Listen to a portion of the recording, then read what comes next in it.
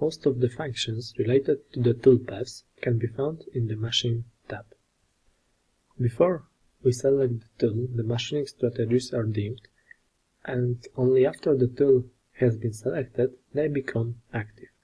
In our example, we will discuss the three most commonly used 2D machining strategies, contour machining, pocketing, and drilling. We will start with contour machining. Machining of contours is the removal of material along the indicated geometry at a specified depth. So we have some 2D geometry and we mill around this geometry. Very simple machining. In my work there is practically no day without contour machining. A part will always appear for which you need to program the contour machining. That's why it's worth getting to know this strategy. To start contour machining strategy, from Machine tab, select Rough or Finish. In the Side section, we define the type of machining. By selecting Vertical option, we specify that we want to machine vertical walls based on 2D geometry. That is standard contour machining. In the near future, we will choose this option most often. OK, I set some parameters. OK, I will discuss these parameters later. Now I want to show how this option works.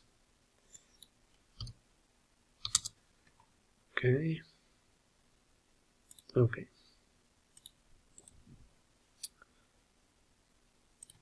Okay. We have standard contour machining.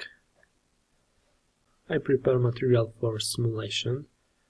Of course, I will show you it later with details. Okay, let's create another geometry. Okay. And set this as material.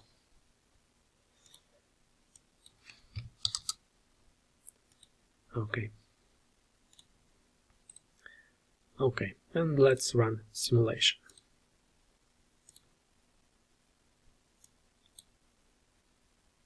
Okay, we have standard machining.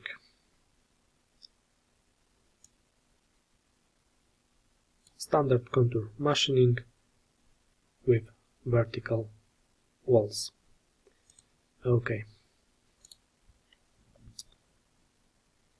I set different material. I need a bigger one to show next option. Mm -hmm.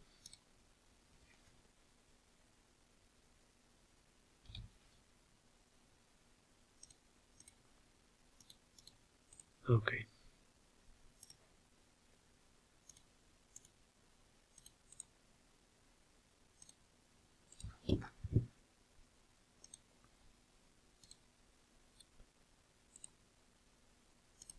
Okay.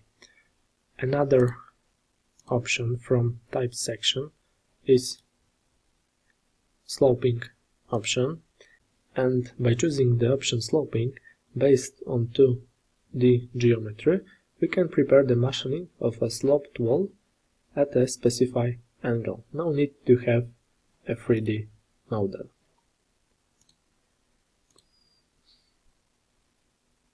Side angle, for example, okay. Okay. This is done by generating the large number of paths.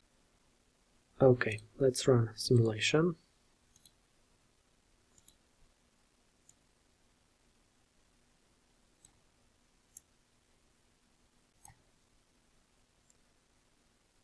And we get sloped walls. Okay.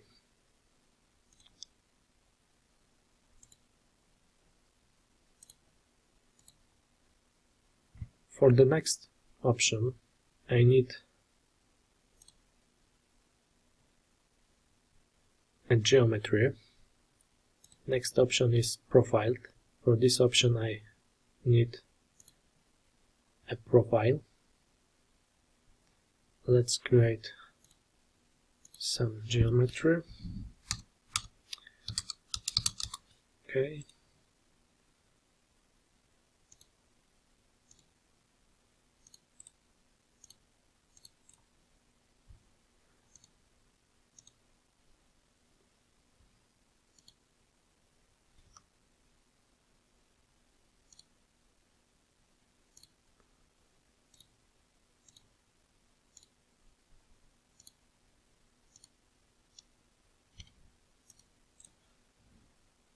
okay let's join this geometry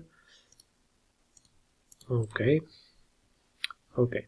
Select rougher finish and profile option. Okay. Max depth per cut set here. 0.5 okay. Pick side profile. Select this profile, pick profile geometry reference point, this will be this point, the start point of profile, and now select geometries, select geometry to machining, and accept. Okay. And now we have machining of this profile.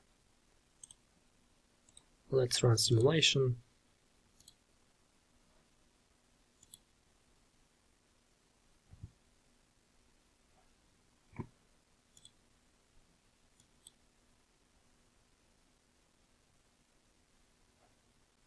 Okay, using this option we can reproduce the shape of the 2D profile on the workpiece. No need to have a 3D model or shape tool. To get better wall finish, we can use a tool with small radius or a ball milling cutter. We can also generate a toolpaths with smaller step down. It means the smaller the step down, the more toolpaths and the more accurate shape. Okay, let's check another option. Another option is Auto Z. This option allows you to read machining levels based on geometry. We must prepare the geometry properly, specifying its upper and lower levels. Then, when defining machinings, this will be automatically taken from the geometry. We will come back later and discuss this option fully, and next option in the previous tool profile works similar to the profile option. In the profile option, the profile that we had drawn in the workspace was reproduced and for the previous tool profile option, the tool profile you previously used will be projected. Okay, first we have to use another tool select tool and for example okay we can use this tool. Let's prepare machining. The parameters doesn't matter. Okay. Okay. And now select this tool okay. Okay. This is the sample machining. We only need the tools profile. Let's run simulation and now we have something like this. We don't use this machining to prepare machining program. As I said we only need the tools profile. Okay. Again, select Rough or Finish and select here previous tool profile. Okay. OK. Select geometry and accept. And now we will get toolpaths that project the shape of the previous tool's profile. Okay, let's run simulation. Okay, it's look quite uh, good. Okay.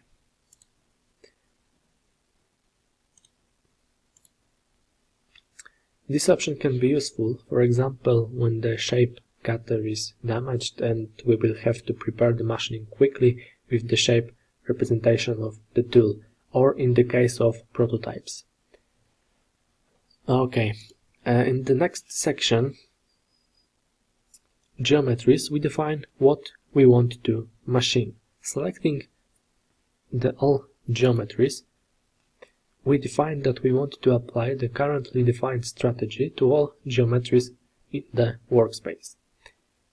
Selecting the selected option, we specify that we want to apply the currently defined strategy to manually selected geometries from the workspace. And the partial option allows us to machine a specific fragment of the selected geometry, and we will discuss this later on an example. Okay, in the next lesson we will discuss General tab.